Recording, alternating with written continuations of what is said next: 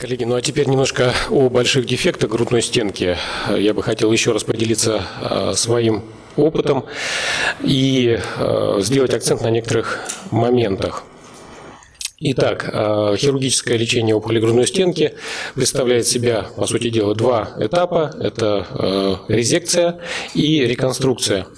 Причем реконструкция должна выполняться с таким учетом, что мы должны думать о э, возможности длительного существования данных конструкций, которые позволяют решать ряд э, серьезных задач, о них уже предыдущий докладчик говорил. И эти конструкции должны быть достаточно хорошо биосовместимы. Что мы на сегодняшний день имеем по литературным данным, по собственному опыту?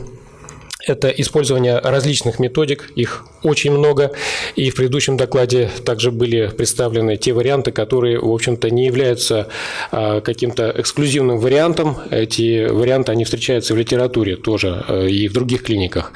А, итак, вот наиболее, скажем так, применимые для восстановления каркаса. Это э, пластины, э, которые имеют, э, в общем-то, использование для различных отделов скелета. Ну вот дизайн, он имеется и применительно к ребрам. Это пластины с фиксацией винтами.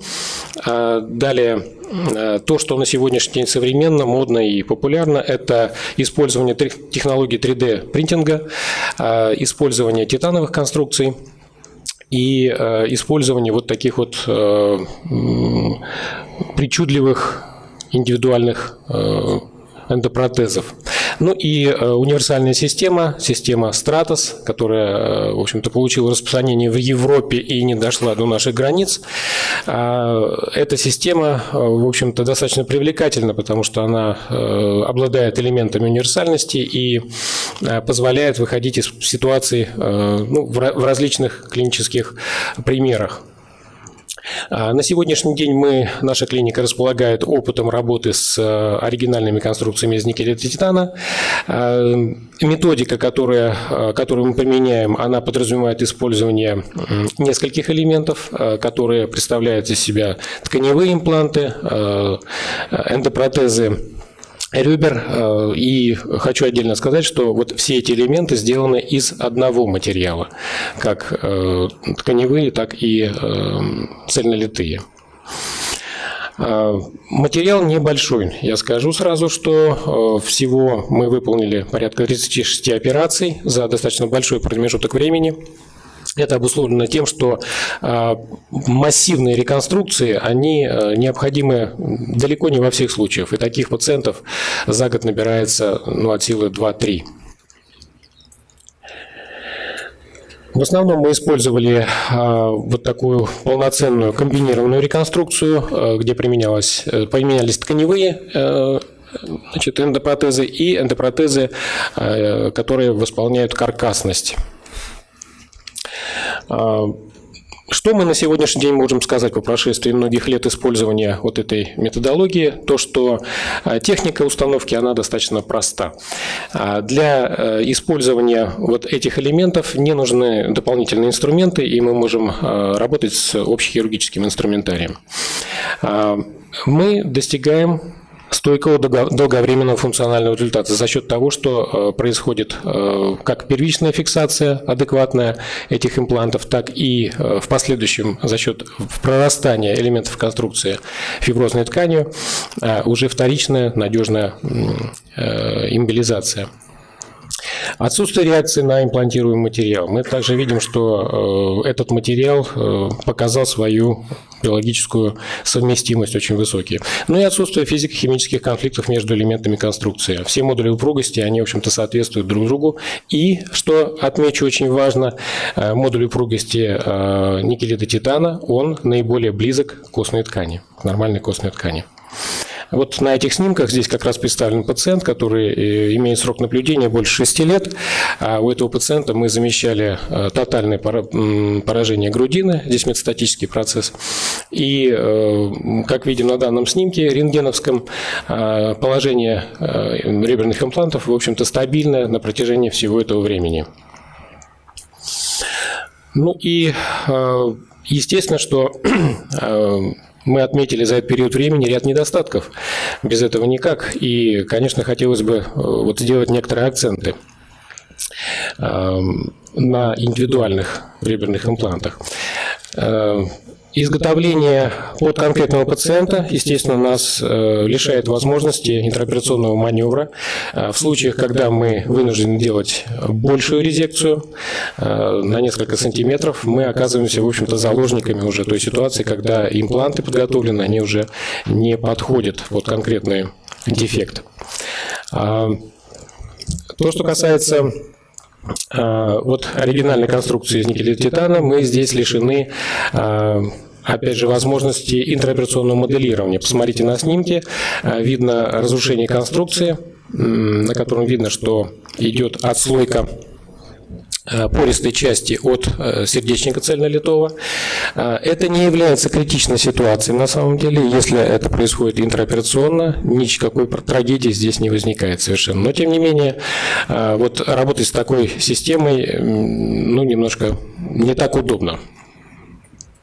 И э, еще один момент – это э, то, что возможно констатация э, прорезывания конструкции. Но здесь, естественно, что мы должны очень четко понимать, что любая имплантация эндопротезов, которые замещают ребра или грудину, требует очень хорошего укрытия мягкими тканями. А вот на примере данного пациента, который имел а, рецидивный процесс в области грудной стенки, я бы хотел как раз сделать акцент на ряде вот таких недостатков и а, тех моментов, которые хотелось бы, конечно же, улучшить. Итак, мы имеем дело, с пациентом 53 лет, у этого больного рецидивная хондросаркома грудной стенки, продолженный рост после хирургического лечения. Значит, э, та клиническая картина, которая вот э, была, она дополняется э, томографической, и здесь мы видим, что отсутствуют три ребра, Имеется э, дефект переднебоковых э, отделов 4, 5, 6, 6 ребер и огромный мягкотканный компонент. Значит, э, при э, разработке плана резекции, в общем-то, мы принимали во внимание, естественно, что а, вовлеченность, сердечной, э, вовлеченность сосудистого нервного пучка плечевого в процесс, он оказался интактен, функция руки была, в общем-то, в полном объеме. На данном КТ-скане, в общем-то, пациент располагается с поднятыми вверх руками. Вот. И, кроме этого, Значит, э, мы принимали во внимание возможность реконструкции мягкотканной при выполнении резекции. Э, предыдущая операция сопровождалась тем, что был использован торакодорзальный лоскут. Поэтому, естественно, что мы были немножко здесь ограничены в этой ситуации. А, итак, нами выполняются хирургические, э, хирургические вмешательства что было резицировано? Половина грудины, задние отрезки 6 по 7 ребер, резекция с 1 по 5 ребра, передние боковые, отделы, плоскостная резекция нижней доли и средней, значит, э, далее легкого, реконструкция выполняется одномоментно никелидом титана а, и пластика перемещенным ректоабдоминальным лоскутом. Ну и, э, коллеги, вы понимаете, что вот такой объем заместить э, ректоабдоминальным лоскутом невозможно, и а, укрытие здесь возможно было только лишь вот нижних двух ребер. Вот стрелочками здесь отмечена КТ-реконструкция, как раз э, позиция реберных имплантов. Посмотрите, какая ситуация возникает на 11 сутки после операции. Это правый снимочек. Э, здесь мы видим э, прорезывание импланта. Причем это произошло практически на глазах за счет того, что э, укрытие вот э, в этом месте было только лишь кожно-жировым э, лоскутом, и он был очень тонок и не справился, в общем-то, с той задачей, которая перед ним лежала. Что здесь происходит? Здесь происходит движение за счет дыхательной экскурсии, и, в общем-то, то трение, которое происходит у ребро конструкции, оно привело к такому осложнению. Повторное оперативное вмешательство – который мы выполнили с использованием пластики большой грудной мышцы. Ротация была на точке крепления грудине э, и э, ушивание данных э, дефектов. Вот. И вот подобный дефект, он сопровождался, естественно, что разгерметизацией плевральной полости, но за счет выполнения пластики и дренирования нам удалось избежать каких-то других осложнений. Далее, следующий момент, с которым мы столкнулись, посмотрите, это прорезывание заднего конца четвертого реберного импланта. Это это произошло уже э, после заживления основной раны, э, вот такое рождение импланта. С чем оно связано? На э, компьютерном томографическом скане здесь я показываю вот ту кривизну ребра, которую мы, в общем-то, имеем уже после операционной ране. Она, естественно, вы видите, что не соответствует ходу ребер по задней поверхности. Почему такое произошло?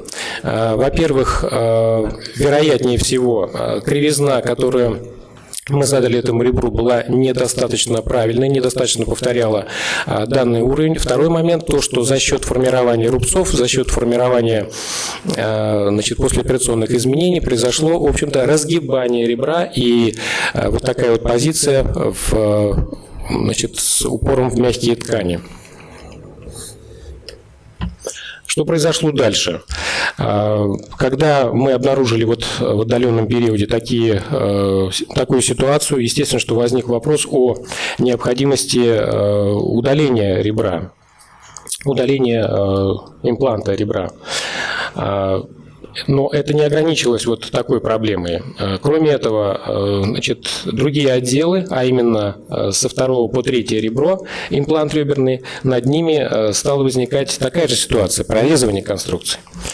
И в этом случае, естественно, что вопрос стал уже о удалении практически всех элементов конструкции. И вот посмотрите, значит, здесь два снимка для сравнения. Две реконструкции – это вид э, компьютер-томографический до удаления имплантов, а здесь уже после удаления. Вот те ленточки, которые здесь видны на реконструктивном снимке, это как раз э, оболочка эндопротезов ребер, пористая.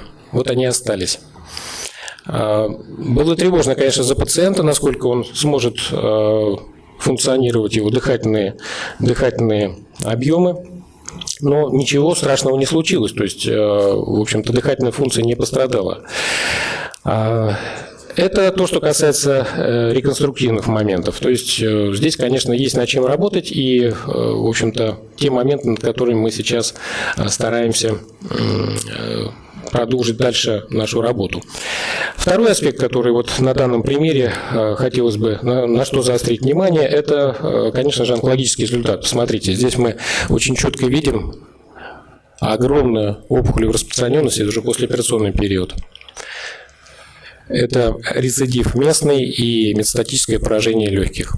Хондросаркома второй степени злокачественности, к сожалению, здесь лекарственных опций не так много, а, но вопрос о э, вот результате лечения, конечно же, он все равно стоит очень а, остро. Итак, вот я назвал этот слайд «Работа над ошибками». Конечно, всегда нужно анализировать то, что ты сделал, то, что ты получил. А, во-первых, конечно, мы ставим первыми а, вот вопросами, это все-таки онкологические задачи, да? насколько была а, выполнена адекватно резекция, и не нужно ли было бы сразу планировать удаление конечности с плечевым поясом. Сейчас, анализируя эту ситуацию, я думаю, что да, нужно было делать именно так, потому что мы не получили должной функции конечности, мы получили отек, мы получили достаточно такую обременяющую конечность пациента и рецидив местный. А, необходимость все же, конечно же, местной э, системной терапии. Здесь ну, это очевидно, что после выполнения таких операций а, нужна поддержка системная. Адекватность укрытия имплантов мягкими тканями. Это очевидно, что планируя установку ребер, мы всегда должны закладывать э, обязательно те варианты, э, те опции пластические, э, которые позволяют переместить мышечные переместить кожно-фасциальные лоскуты в зону пластики.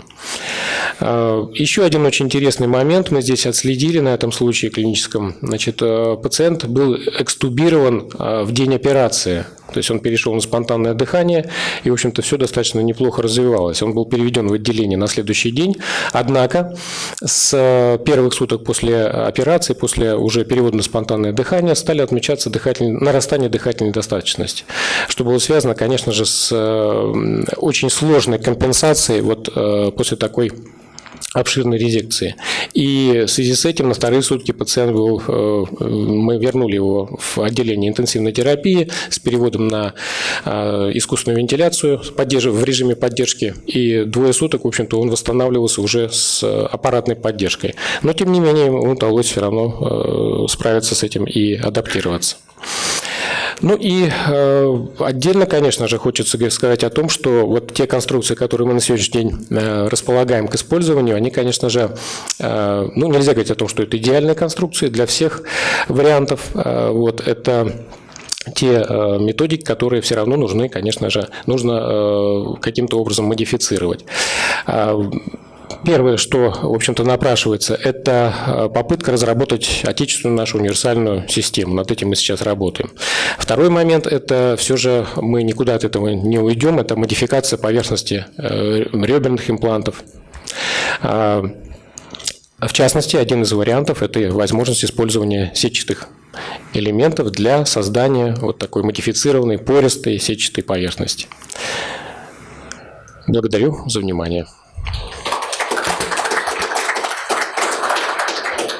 Спасибо большое, Александр Александрович, за очень интересный доклад. Пожалуйста, вопросы у кого будут? Да, пожалуйста.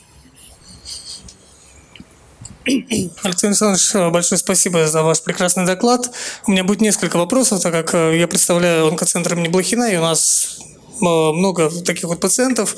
Первый вопрос. Э, по вашему мнению, обязательно укрытие импланта дополнительным лоскутом, будь то дорзальный лоскут, либо Трем лоскут.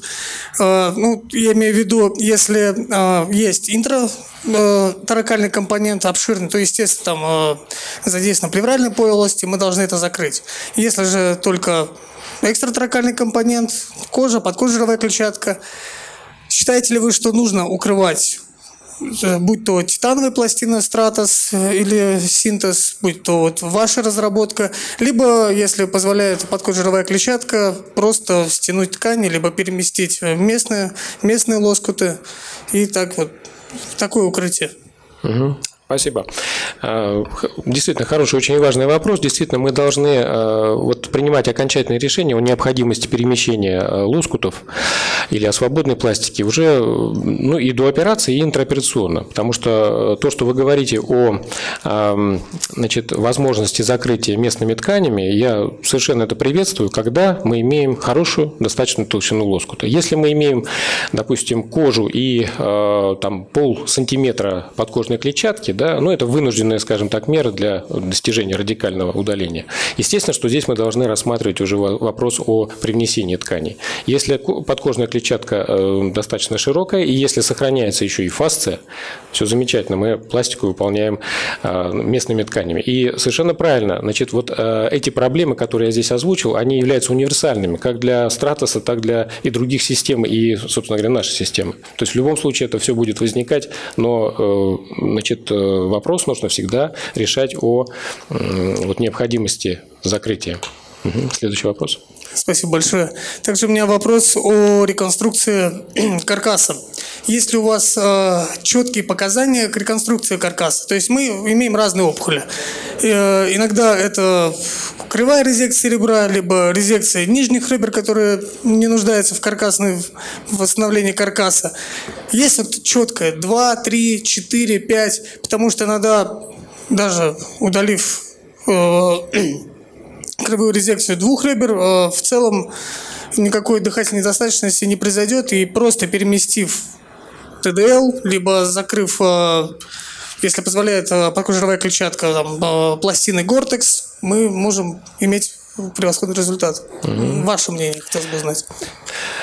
Ну, то, что касается показаний для реконструкции, здесь, в общем-то, то, что прописано в литературе, на что мы опираемся. Ну, я считаю, что это немножко такие условные э, показания, да, там более двух ребер и так далее. Вот. Э, очень э, большое значение имеет несколько факторов, то есть многофакторное такое вот планирование. Да? Вот. Во-первых, локализация дефекта. И вы прекрасно понимаете, что, допустим, передние отделы грудной стенки, к примеру, второе ребро, передний отдел второго ребра, да, удаление сегмента этого ребра, оно сформирует достаточно такой такой значимый косметический дефект. И для, допустим, молодого пациента, у которого э, будет потом флотация грудной стенки, это не совсем, скажем так, адекватно. На дыхательную функцию здесь, конечно, никакой, э, никакого влияния не будет. Он будет дышать превосходно совершенно. Вот. Поэтому здесь э, вот, вот в этом случае, допустим, двоякая такая вот ситуация, да, то есть нужно решать как прежде всего функциональный, функциональную задачу, да, и второй момент эстетическую и косметическую. Почему нет? Вот. А то, что касается Значит, всех других случаев, конечно же, э, мы совершенно правильно, мы анализируем действительно, что остается. Что остается, потому что грудная стенка – это же сборное понятие, сборное понятие, да, это и ребра, это и плевра, это и жировая клетчатка, это и фасция, и кожа. Что из этого вот сэндвича остается? Если остается достаточно тканей, и если действительно мы можем э, вот сделать э, какую-то вот такую простую пластику без использования там, сложных конструкций, почему нет? Вот. Действительно, здесь не будет каких-то последствий э, значит, таких фатальных. Я хочу поделиться еще одним моментом, понимаете, очень интересным. Это опыт э, ведения пациентов осложненных в кардиохирургической практике. То есть вот волею судеб мне сейчас доводится работать бок о бок с кардиохирургами. Вот, и сейчас крайне редко, но тем не менее попадаются вот такие осложненные случаи, когда имеет расхождение грудины, развитие стерномедиастенита и хронические огромные незаживающие раны, когда, в общем общем-то, идет э, некроз э, грудины, э, формируются дефекты. И вот у нас на сегодняшний день уже есть два, две операции, два клинических случая, когда мы в одном случае восстановили значит, вот этот дефект с использованием реберных имплантов, вот, мы сделали установку. Вот. И второй случай, когда мы просто переместили ректоабдоминальный лоскут в этот дефект. После очистки раны, после того, как санация была проведена, формирование грануляции и так далее. Так вот, я вам скажу, что на сегодняшний день все равно вопросы остаются. Надо ли делать действительно жесткую вот эту вот реконструкцию в данном случае? Почему? Потому что сформировались рубцы за этот период времени, пока идет санация вот этого гнойного очага. Да, дефект остается костный, но рубцовая ткань, она позволяет, э, в общем-то, легким функционировать. У этого пациента нет дыхательной достаточности, он, в общем-то, дышит. Да, есть э, расхождение вот костных сегментов, да, да, есть вот эта вот огромная, огромная зияющая рана, но второй случай, когда мы не использовали жесткую конструкцию, в общем-то, чем меня остановила вот работа с жесткими имплантами, то, что у этого пациента а, была выраженная а, значит, э, не флотация даже, а вот э, движение вот, вот, этой вот, вот этих э, краев грудины в дыхательных вот этом цикле. И, естественно, я предположу, что если мы сейчас поставим жесткую конструкцию, здесь будут конфликты и здесь будут проблемы. Вот, поэтому мы обошлись мягкотканным лоскутом, и я вам скажу, что результат, в общем-то, достаточно хороший. То есть закрыли рану. Поэтому здесь, видите как, здесь, в общем-то, я считаю, что это зона творчества, творчество, конечно же, прежде всего. Да? Здесь надо анализировать э, вот тот опыт, который есть, и выбирать те решения, которые, в общем-то, вы прекрасно владеете и можете этим, в общем-то, апеллировать. Вот таким образом. Спасибо большое. Я вот э, немного украл вопрос. А, есть ли, по вашему мнению, какие-то показания, какую опухоль не нужно оперировать, которые удаление опухоли даже с реконструкцией приведет к патологичному дыханию? А, удаление ну, опухоли. Вот, э, можно же можно удалить э, там хоть 5, хоть 6 ребер реконструировать, можно реконструировать, но в итоге это приведет к патологичному дыханию. И пациент из реанимации, к сожалению, может не перевестись в отделение. Существует ли та грань, при которой нужно сказать, что, а, к сожалению, есть... нет, лучше угу. не, не оперировать этого пациента. Потому что хирурги, когда овладев э, различными техниками, включая там микрохирургию, угу. можно пересадить лоскут. Вот в вашей э, презентации была верхнюю часть вы не закрыли, там можно и торкодорзальный лоскут пересадить в мамарию и закрыть этот лоскут. Но иногда просто не стоит этого делать, потому что пациент, не, ну, к сожалению, не выкаркается за счет патологического дыхания, из-за патологического дыхания. Есть ли у вас какое-то понимание, когда не нужно делать операцию, при каких объемах поражения грудной стенки? Интересный вопрос, да. Когда мы оперировали вот, этого пациента, в общем-то, у нас тоже был такой момент, э, в общем-то, где грань, э, сколько же можно, собственно говоря, э, резицировать ребер, можно ли половину грудной стенки убрать, да. Вот. В принципе, мы, мы это сделали, это получилось. Вот. Но здесь другой аспект. Видите, здесь, в принципе, конечно, мы можем обсуждать сколько угодно там адекватность закрытия, адекватность там, реконструкции и так далее. Но если мы не имеем онкологического результата, да, вот, то естественно, что, в общем-то, все сводится на нет. Как в этом случае? То есть мы э, через год после проведенной операции получили продолженный рост, и, в общем-то, ну, пациент сейчас практически некурабельный. Вот. Но я хочу сказать одно, что, в принципе, на сегодняшний день можно э, думать о том, что мы можем сделать, ну, по сути дела, почти любой объем вплоть до того, что мы можем сделать э, ну, полный, вот, полностью реконструкцию там, гемиторакса.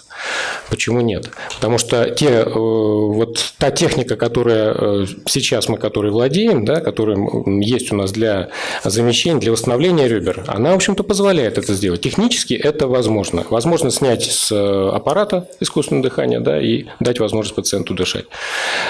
Другое дело, когда мы не контролируем опухолевый процесс. Правильно? Если он никоим образом, никаких опций дополнительных нет, тогда это превращается, в общем-то, в такое сложное мероприятие.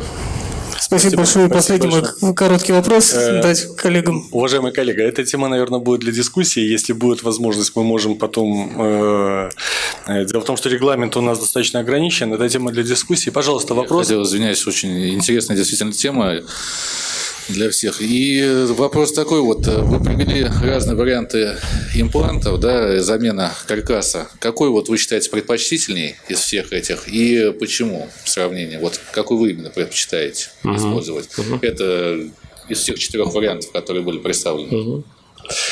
Ну, я тоже не буду здесь э, достаточно долго рассказывать, хотя эта тема очень такая э, объемная. Но я вам так скажу, что вот система Stratos, она наиболее привлекательна. Потому что все остальное, 3D-печать здесь, я думаю, что она не будет иметь продолжения никакого. Это, это модно, хорошо, но это, это уйдет. Э, это не та область, которая вот нужна здесь.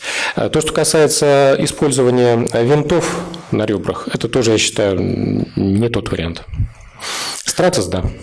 Спасибо большое.